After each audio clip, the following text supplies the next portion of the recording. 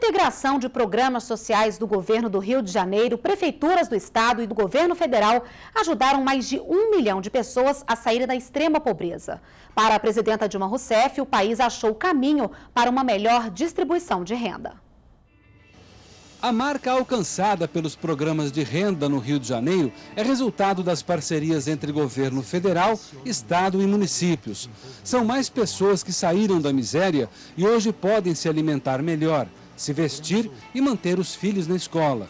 Tem sido assim com Dona Sônia Santo, que vivia do que catava do lixão em Itaguaí, município da região metropolitana do Rio, antes de receber o Bolsa Família. Para mim mudou muita coisa, porque meu filho vive bem, meu filho come bem, pois tem as coisas direita deles. Quer dizer que para mim modificou muita coisa.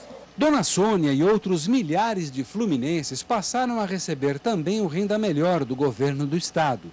O valor do benefício, que era de 70 reais por pessoa, passa para R$ 170 com a complementação do estado.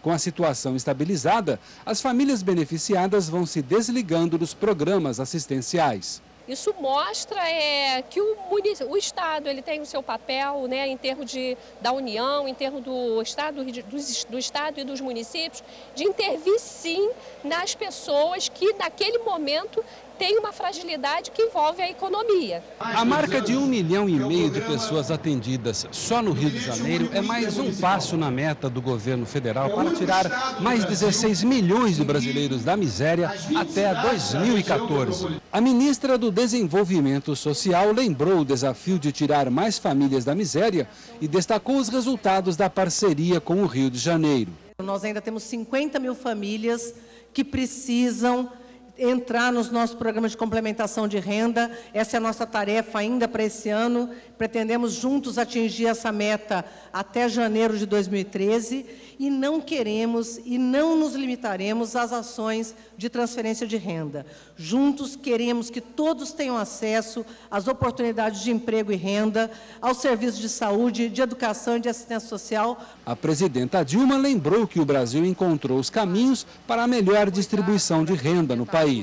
A nossa compreensão de que era fundamental construir políticas que são tecnologias verdadeiras tecnologias que faz diferença sim, porque nós hoje somos capazes de dar este exemplo e de dar este conhecimento para outros países do mundo, são tecnologias de retirada da pobreza, milhões de brasileiros. Nós acabamos com intermediário entre o Estado e quem recebe.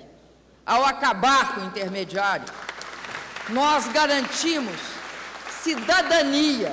Isso permitiu que nós criássemos, junto com o combate à miséria, também um respeito às pessoas, um respeito aos brasileiros e às brasileiras que recebem como um direito deles e não como um favor de ninguém.